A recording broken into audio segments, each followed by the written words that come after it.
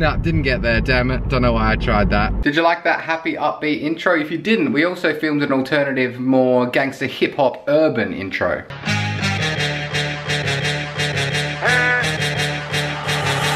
We on fire. Step up in the party, step up in the party high.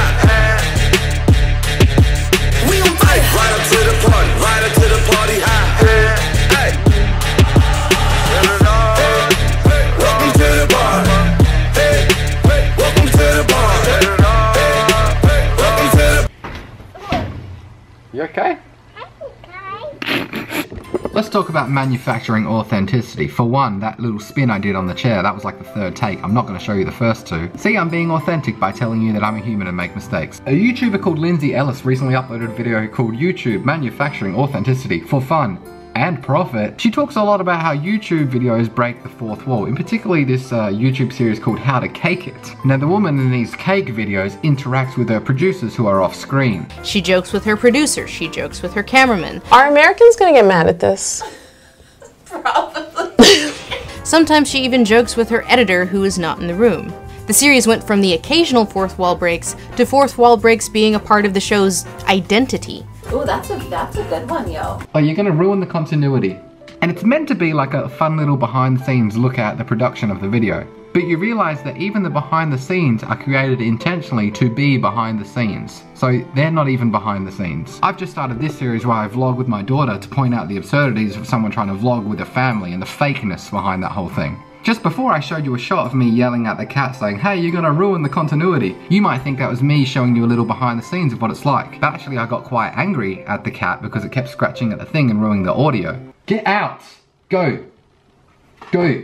I didn't show you that. Well, I mean, I did just show you that then. The point that I'm trying to make, and Lindsay Ellis was also trying to make, I'll put her video in the description, it's great, is that even the things that YouTubers show you and say, oh, you know, you weren't meant to see this, you obviously were, because guess what? They're the fucking ones that showed you, mate. Anyway, what am I up to today? Just hitting up a bunch of playgrounds, mostly.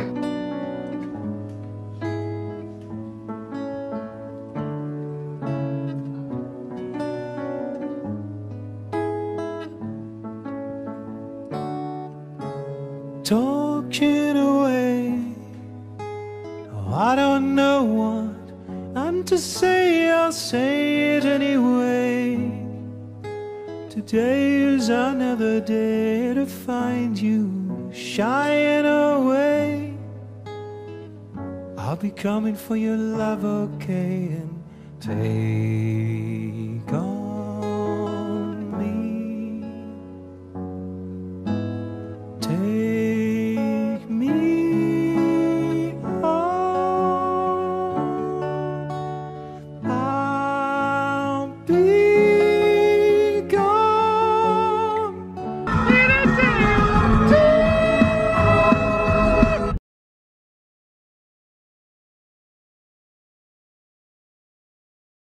Now, Harper, look at me, you have to be really grumpy. Look at the camera. Can you do this? No, like this, other way around.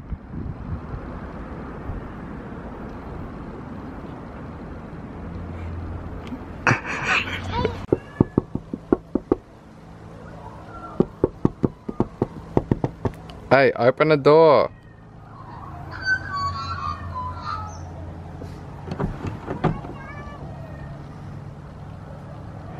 Open it.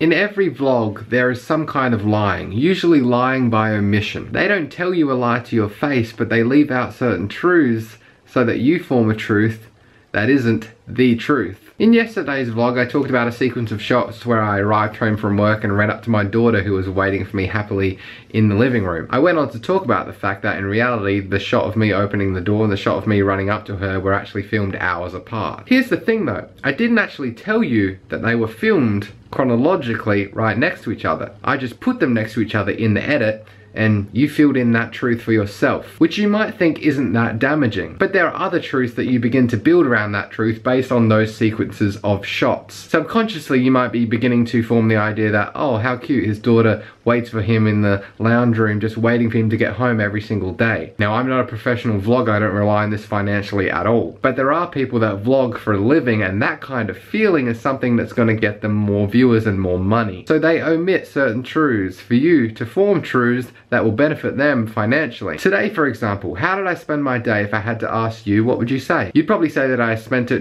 driving around listening to Take On Me with my daughter and making gangster rap videos. And sure, that was part of it, but tons of other stuff happened too. Boring stuff. We went grocery shopping, I had to run an errand and buy a gift basket for someone. We had lunch, that was boring. In your mind, you know that a day doesn't last for 10 minutes. But when you watch a 10 minute vlog that starts in the morning and ends at night, you kind of get tricked into thinking you saw the whole day. And your brain decides that the tone of the vlog must have also been the tone of the whole day for the person in the video, which is exactly what they want you to think. They omit anything that damages their brand. And their brand is usually fun. Anyway, that being said, please do smash that like button. Really do love it, guys. Buy the merch. I've got a podcast. I've got a uh, merch for the podcast as well, which you can buy. Uh, I've got merch for the merch. So it's t-shirts with a picture of the original t-shirt on it. Um, I need your support. I've got eight Patreon pages for this vlog, so please